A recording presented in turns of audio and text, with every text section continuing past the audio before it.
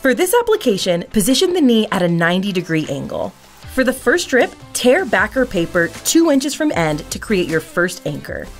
Place the anchor above the knee with no stretch.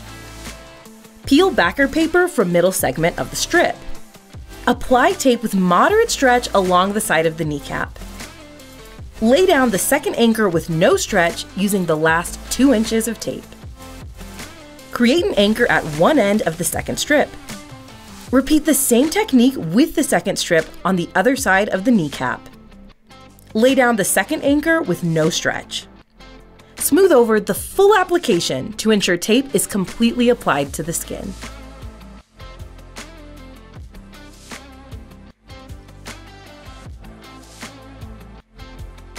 Tear backer paper in the center of a half strip and peel it back to expose the middle segment of adhesive. Apply moderate stretch and adhere the tape under the kneecap.